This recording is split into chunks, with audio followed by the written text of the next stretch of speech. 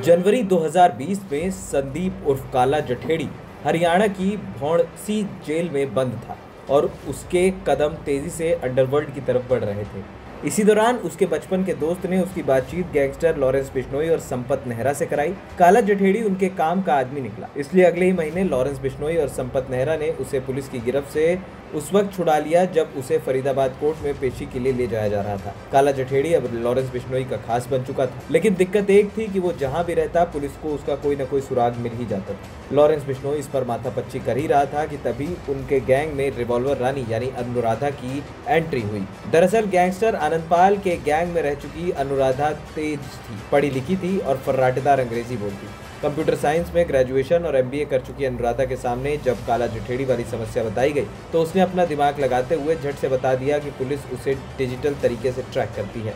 Report की माने तो लॉरेंस बिश्नोई और उसके साथी गोल्डी बरार ने अपने अब अनुराधा को ही ये टास्क सौंप दिया कि वो काला जठेड़ी को सिखाए कि कैसे पुलिस की डिजिटल ट्रैकिंग से बचा जा सकता है। अनुराधा फ़ौरन इस ज़िम्मेदारी को पूरा करने के लिए तैयार हो गई। इसके बाद काला जठेड़ी और अनुराधा उत्तराखंड के गढ़वाल चले गए और नौ महीने तक पुलिस की नज़रों से छिपे रहे। यहाँ साथ रहते हुए दोनों करीब आए और एक दूसरे को दिल दे बैठे। हरियाणा की स्पेशल टास्क फोर्स के पास मौजूद डोजियर के मुताबिक इसी साल दोनों ने गुपचुप तरीके से शादी भी कर ली दोनों पति पत्नी के तौर पर चार महीने तक मध्य प्रदेश के इंदौर में भी रहे। हालाँकि काला जठेड़ी और अनुराधा जब उत्तराखंड लौट रहे थे तो पुलिस ने यूपी के सहारनपुर में उन्हें धर दबोचा। काला जठेड़ी उसके बाद से ही जेल में बंद है, जबकि अनुराधा को जमानत मिल चुकी है। पुलिस सूत्रों की माने तो गिरफ़्तार होने से पहले आनंदपाल गैंग में रहते हुए अनुराधा किडनैपिंग और फिरौती के कई मामलों में शामिल रही।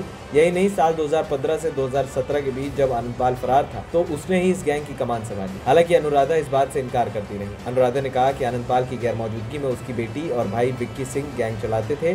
बताया जाता है कि अनुराधा आनंदपाल के साथ लिव इन में रही और 2017 में उसका एनकाउंटर होने के बाद विक्की सिंह ने अनुराधा की बातचीत लॉरेंस बिश्नोई से कराई। काला जठेड़ी और अनुराधा की शादी दिल्ली के द्वारका सेक्टर तीन के सुभाष गार्डन बैंकेट हॉल में बीते मंगलवार हुई। शादी की रस्में सुबह दस बजे से शुरू होकर छह बजे तक चली। काला जठेड़ी एक बार पहले पुलिस की गिरफ्त से भाग चुका है, इसलिए पुलिस किसी तरीके का रिस्क नहीं लेना चाहती थी। बैंकेट हॉल की सिक्योरिटी में दिल्ली पुलिस की स्पेशल सेल और क्राइम ब्रांच के अलावा स्वाट कमांडो की टीमें भी लगाई गई। शादी में तकरीबन डेढ़ सौ मेहमान शामिल हुए, जिन्हें पूरी पहचान के बाद ही अंदर जाने दिया गया। पुलिस को यह भी आशंका थी कि काला जठेड़ी के दुश्मन गैंग शादी की भीड़ का फ़ायदा उठाने की फिराक में रहेंगे। इसलिए कुछ पुलिसकर्मियों को बारातियों के साथ वर्दी में शामिल किया गया था।